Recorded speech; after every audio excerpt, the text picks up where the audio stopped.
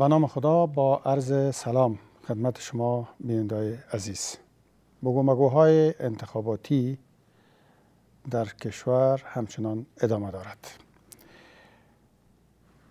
نماینده, نماینده های تکنیکی ستادهای انتخاباتی دکتر احمدزی و دکتر عبدالله عبدالله امروز دیدارای داشتند که اطلاعاتی که تا این لحظه در اختیار ما قرار گرفته از نتایج دیدار ابراز خورسندی از طرف دو طرف از این ستادا ابراز شده به هر حال سایه ای بگو مگوها از انتخابات دور دوم ریاست جمهوری افغانستان بالای ثبات و امنیت از کشور سایه انداخته و تا ای که مخالفان مسلح دولت افغانستان را تقریبا به دروازه های کابل کشنده در بحث کنونی ما نتایج ای بگو مگوها را با دو تن از نمایندگان ستادهای انتخاباتی دکتر صاحب اشرف غنی احمدزی آقای موین مرستیال و از دکتر صاحب عبدالله عبدالله آقای علی امیری. و بحث و بررسی می‌گیریم. و در نخست از آقای امیری می‌خواستم بپرسم مذاکراتی که از سوی نماینده های تکنیکی دو ستاد صورت گرفت نتیجه به کجا انجامید؟ بسم الله الرحمن الرحیم. هر سلام دارم خدمت شما و مهمان محترم و شنوندگان و بینندگان محترم تلویزیونی آریانا.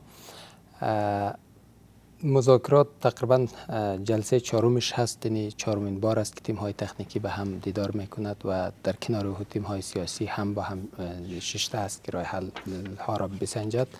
ولی متاسفانه هنوز به نتیجه نرسیده است. یعنی به نتیجه مشخصی نرسیده است. اختلاف نظر در خصوص بررسی یک میکانیزمی که بر اساس از او بتوان تقلبات را مورد بررسی و تفتیش قرار داد و آرای پاک را از ناپاک جدا کرد تا کنون به یک میکانیزم مشترکی که مورد رضایت دو طرف باشه نرسیده.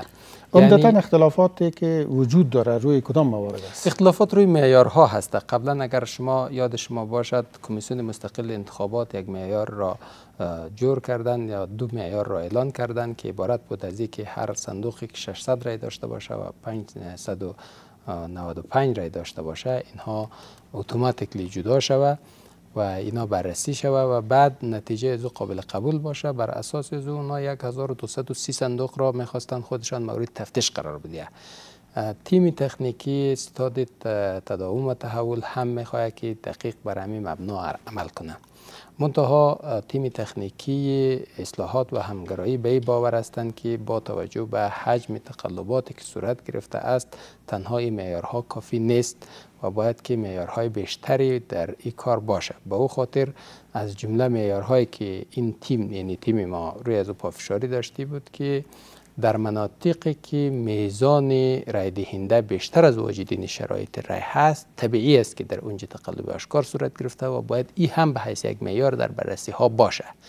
و از او خاطر البته معیارهای دیگه هم مطرح شده است از جمله یک معیار همی است که در جایی که تناسب بین رای دهنده و, و این واجدین شرایط رای و برگ های ریخته شده در صندوق وجود نداشته باشد. این نباید که چی باشه و ایران به حیث یک معیار ما باید در نظر بگیریم و ملاحظه دیگه هم بود در جایی که 95 درصد یک سلسله معیارهای بین وجود دارد در جایی که یک کاندید قبلا صفر رای داشته یا زیر 5 درصد آرا داشته بعدا رایش ناگهانی بالا میره.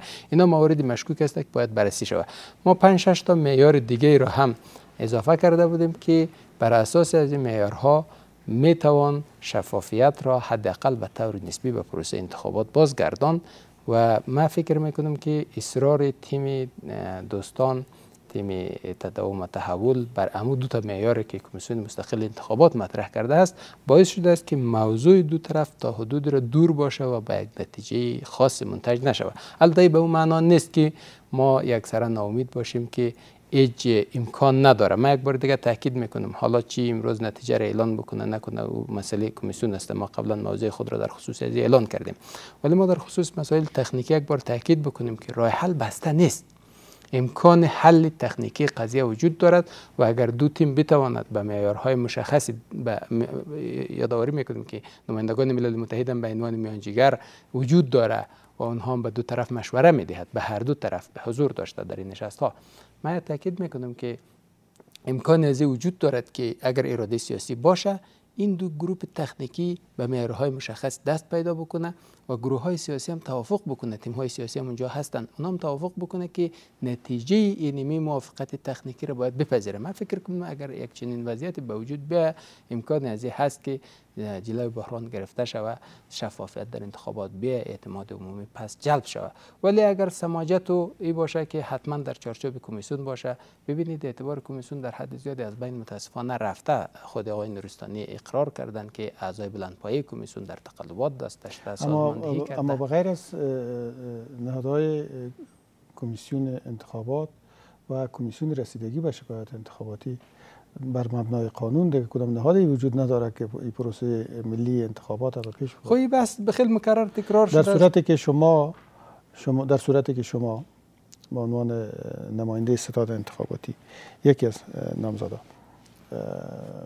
موقف کمیسیون در این حد ببینید که اونا اصلا مشروعیت ندارن پس این مشروعیت نظام آینده در افغانستان چگونه خواهد متاسفانه که وقتی که ما رابطه خود با اونا قطع کردیم به معنی از است که اونا در چارچوب قانون اجرات نکرده. شما می‌فهمید به لحاظ حقوقی هر وقتی که یک نهاد مسئول قانونی را که در چارچوب از باید اجراعات بکنه اجراعات نکنه او خود به خود مشروعیت خود را زیر سوال برده. یعنی ما مشروعیت هیچ نهاد را زیر سوال نبردیم. ما من حیث یک بازیگر من حیث کاندید قدرت در افغانستان تلاش ما بوده که نهادهای قانونی افغانستان تقویت شود.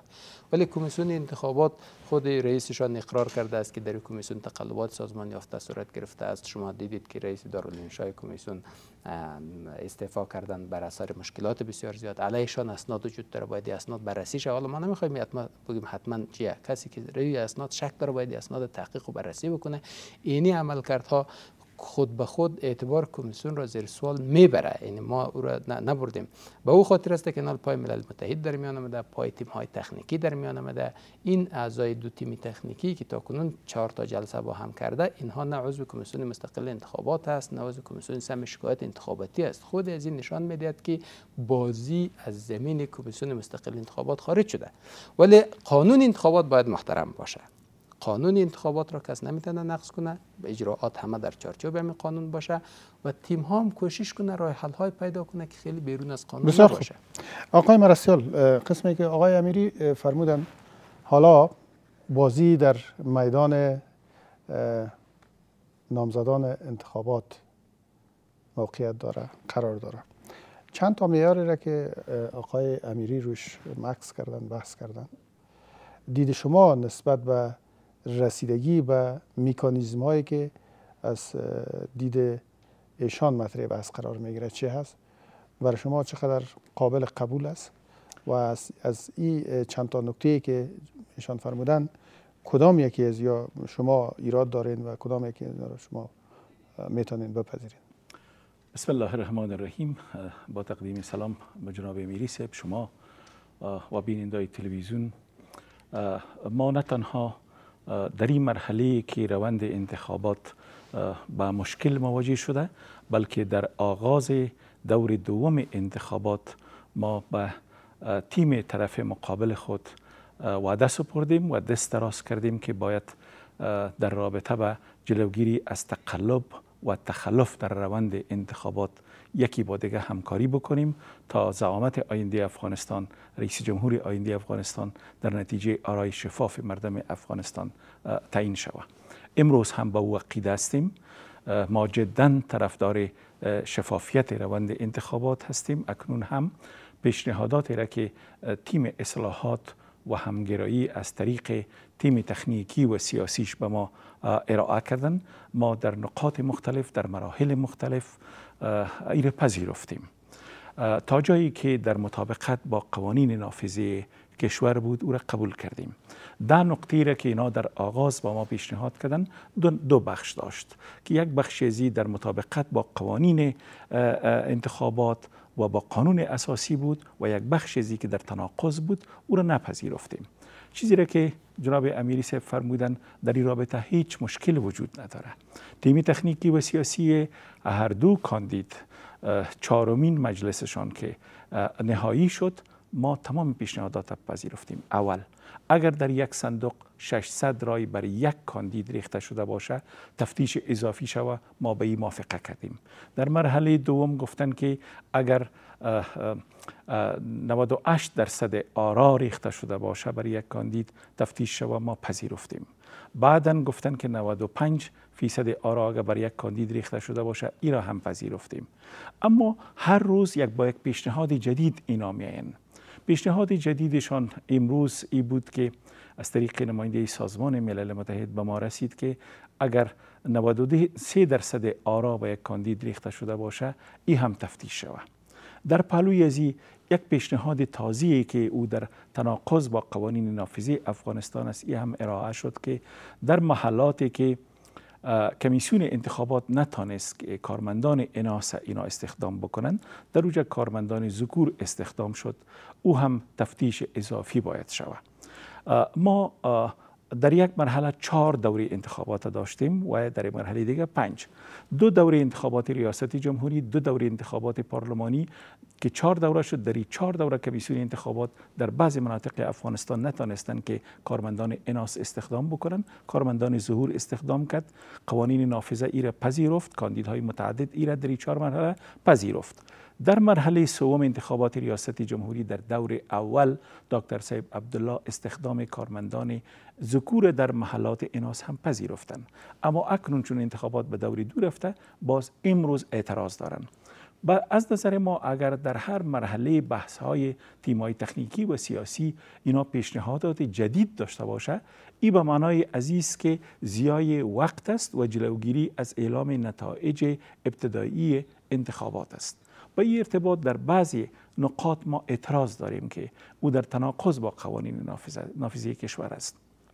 که دو نقطهش امی است که هر روز اگر پیشنهاد جدید به و روی پیشنهادات جدید بحث صورت بگیره این بحث های سیاسی و بحث های کمیته تکنیکی به درازا می‌کشه و جلوگیری میشه از اعلام نتایج ابتدایی انتخابات و اگر جلوگیری از اعلام ابتدایی نتایج انتخابات شود این اثر منفی را بالای اعلام نتایج نهایی می‌کنه و اعلام نتایج نهایی اگر به تعویق میفته روز تحلیف رئیس جمهور هم مورد سوال قرار می‌گیره که او تاریخ از نظر ما به صورت قطعی قابل تغییر نیست بله. بنابراین بحث ها در این مرحله به می منوال است خوشبینی هایی وجود داره که اگر گذشت ها از هر دو جانب وجود داشته باشه بهانه‌جویی ها از یک جانب وجود نداشته باشه ما امیدوار هستیم که میکانیزم ها معیارها و سیستم هایی را با کمیسیون انتخابات و کمیسیون شکایت انتخابات پیشکش بکنیم که تا تمام آرای شفاف از ناشفاف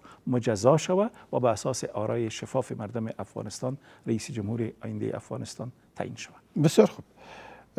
خوشبینی ها و بهانه های انتخابات را پس از یک وقفه کوتاه با آقای علی امیری دنبال خواهیم کرد.